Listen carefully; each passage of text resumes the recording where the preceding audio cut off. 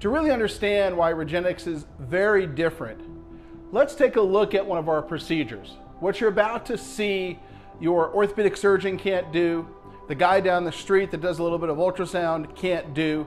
So let's take a look at this advanced, precise, guided work.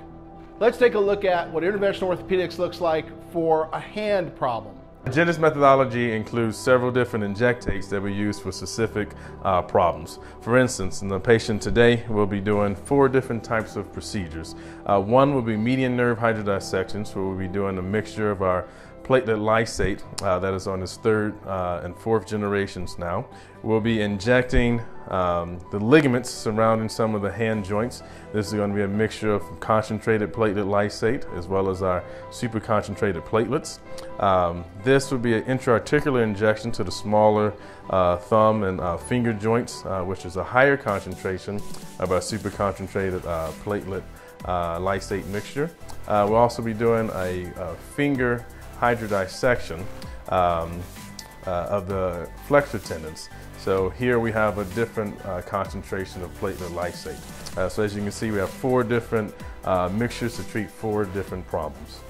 Uh, what our patient has here is a, what's called a trigger finger.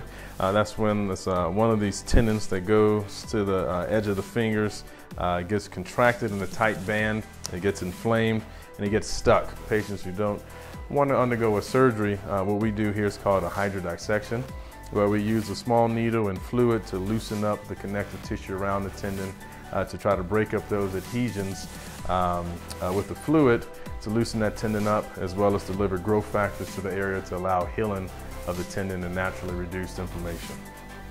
Uh, that separation is trying to loosen up some of the, the um, sheath and connective tissue, tissue surrounding that tendon.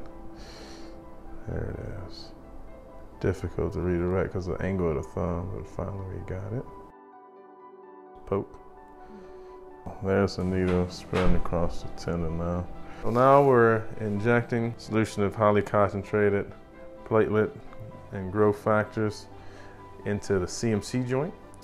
For that CMC joint arthritis, you can see on the screen the needle tip just above the joint. Gonna redirect that.